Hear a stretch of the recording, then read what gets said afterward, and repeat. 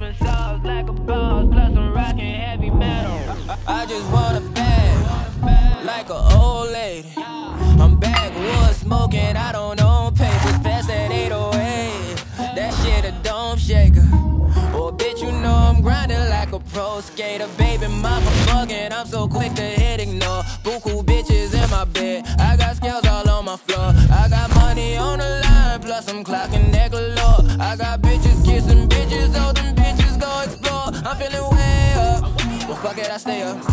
Put your bitch on my Snapchat while I fuck up my makeup. She want a chance with me, cause she know I'm a rapper.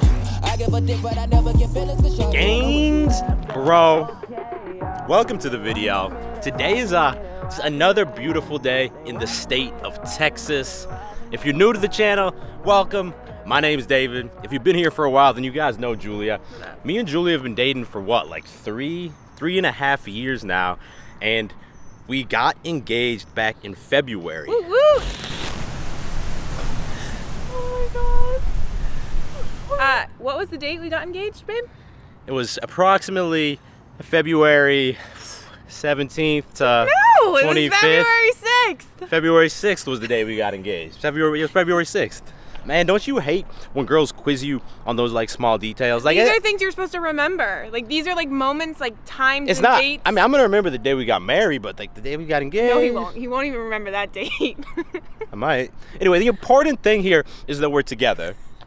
And now that we've been engaged for the past four or five months, I want to kind of bring you guys behind the curtain here and, and kind of show you, you know, what's changed from being living the girlfriend life to living the engaged life. Is what we expected? Has anything changed? Do we regret it? Basically, we're going to tell you guys the dirty truth that people have been hiding from you.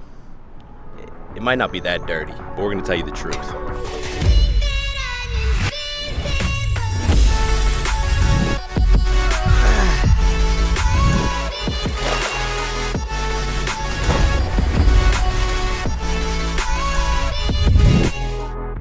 So we did a quick fact check, and we did in fact get engaged on February 6th. he thought I was talking out of my ass. I knew the date. I suspected she might be. Now, I quickly kind of want to tell you what my mindset was leading up to the engagement. Because before Julia, my two relationships both lasted like one year each. And I remember at some point I heard a podcast, or I was, I think I was reading a book from Kevin O'Leary. He's one of the, the sharks on Shark Tank. He's kind of annoying, I think, actually. But in his book, he mentioned some research that they showed like three years is how long you should be with someone before deciding to marry them because it takes about that long to see if you guys are truly compatible, etc., etc. So I just accepted that fact. I didn't really question it. And even though I was pretty sure I wanted to be with Julia before that three year mark, you know, once I got to that three year mark is when I really started like planning, okay, how am I gonna do this engagement? How am I just gonna make it dope? Yeah, he left me hanging for so long. I'm like, when is he gonna do it? When is he gonna do it? I had no idea about this three year mark. Now, the other big thing that gave me like, you know, full confidence that, that me and Julia are gonna work out long term is that of that three years we'd been dating before getting engaged, half of that, so a year and a half, we'd been living together. Yeah, I know how he likes his toothpaste and all that shit. My toothpaste. and of that year and a half, the, the, the latter year, we actually had moved across country together from Boston to Austin, started a new life together, and like I still found myself becoming more attracted to her like every single day. Oh, thanks, babe. I feel the same way. But back to the point, how has our life changed from having a girlfriend to being engaged? Well, to be honest with y'all, we got engaged in February. Then in March is when all the quarantine COVID mess started. So, like, the main change has been that since we've been engaged, we've been quarantined. And I've been stuck with this guy. I mean, Texas quarantine's not that bad, but we haven't been able to travel. We haven't really been able to see too many other people. I mean, aside from that, there really haven't been that many changes in our day to day life. But I will say that, like, as soon as we got engaged, there were some conflicts that had been kind of like bubbling beneath the surface that really came out and immediately led uh, to a little bit of disaster.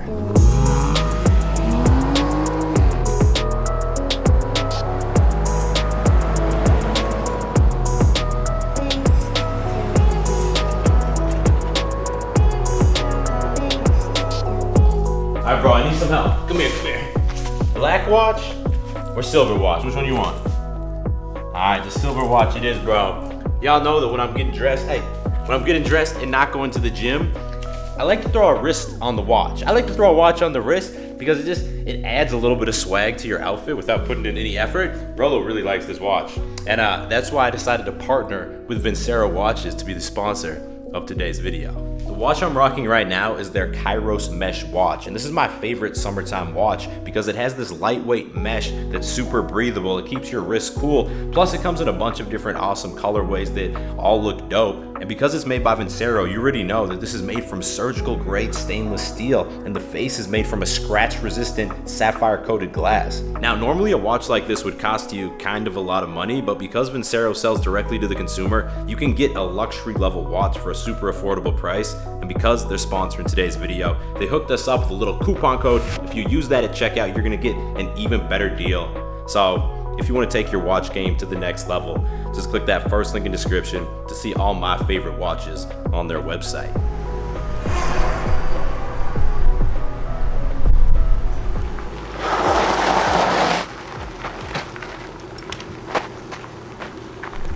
Something that has not changed since we got engaged, and I really was hoping it was gonna change. You skid like a wuss. Like you don't know how to skid a bicycle. Okay, I just don't want to eat shit like on camera. Like have that's I like ever- my biggest fear. Have I ever ate shit on camera? I just went into the store and then I bought it. Yeah, you know, got it for the bare low. I, I guess once or twice I ate shit. Not from skidding though. yeah, but I feel like I would, and then it would just be so ugly. Finally, bro, it's breakfast time. Uh, it is definitely not breakfast time. It is 3:07, and he's well, here, yeah, breakfast. yeah. This is unfortunate that it's 3:07 today, but for me, breakfast time is when I break my fast. Right, it's the first meal of the day, and regardless what time it is, I want to have breakfast foods because breakfast foods are the best foods. For example, breakfast tacos. I would skip breakfast all the time if I could. It's such a pet peeve for me that when we go out, even if it's like 11 a.m. And this isn't just for Julia. A lot of people do this. They order lunch instead of breakfast. well, that's why they came up with brunch.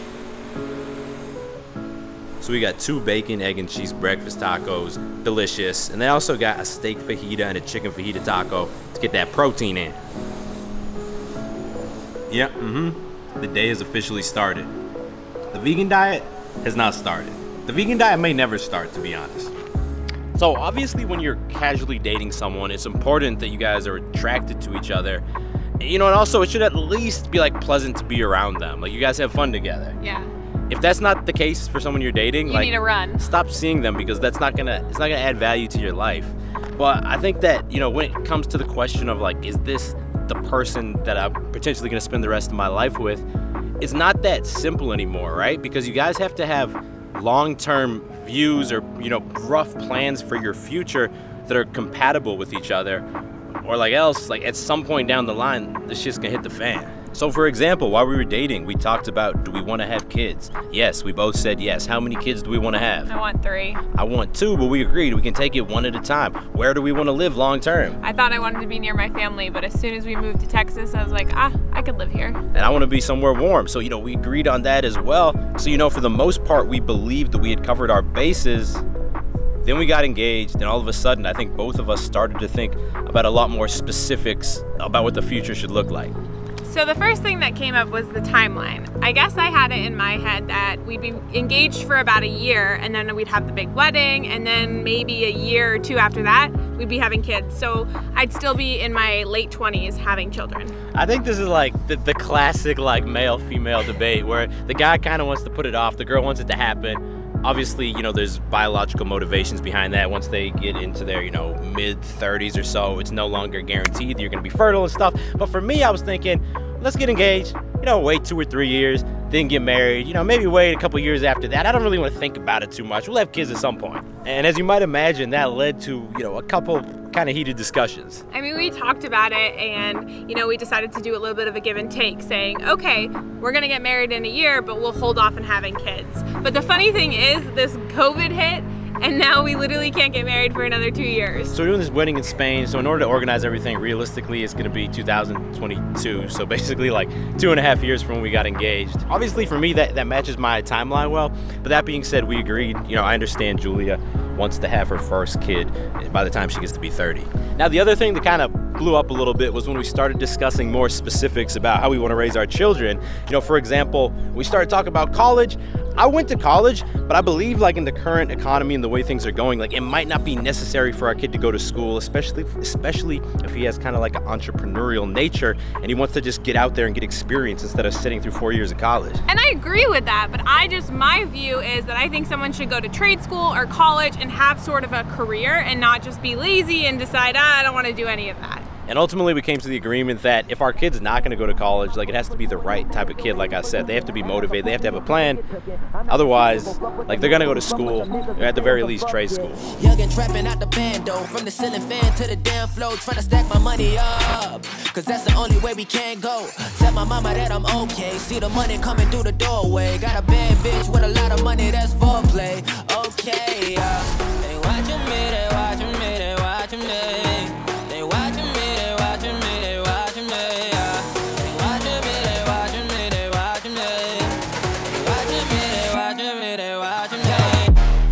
I'll tell y'all one more difference between the brother man and Rolo. Bo has the endurance of like a world class marathon runner. He also has the speed of Usain Bolt, which is pretty crazy. Rolo, he has the uh, the endurance of my grandfather, to be honest. My grandfather's a very good man. He uses a, a walker to get around the house, though. Right, watch this. Every time I throw it, Bo will go get it, and then at the end, Rolo will come over to pretend like he got it.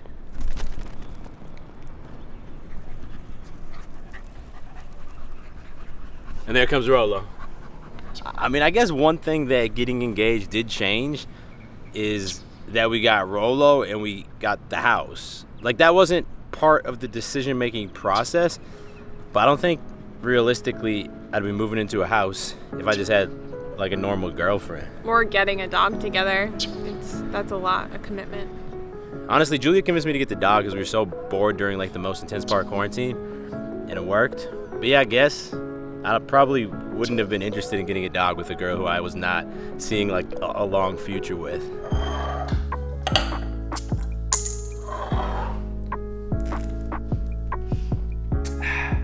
Access IPA, 8.5 out of 10. Welcome to La Cocina de las Morenas.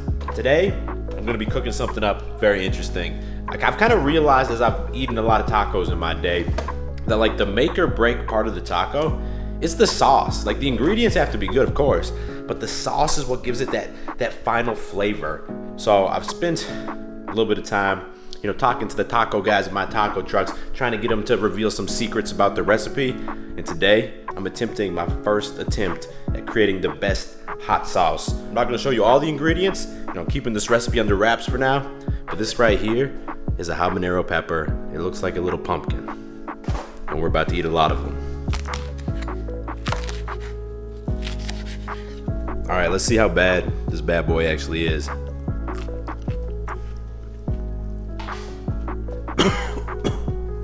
All right, bro. Wish me luck.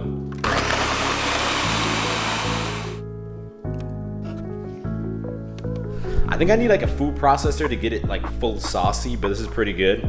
I'm kind of afraid to try this right now because that little piece of pepper I ate before, like 10 minutes ago now, my mouth is still on fire.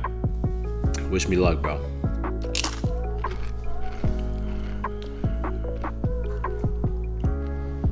I need a little bit more. is the after kick, the after kick effect.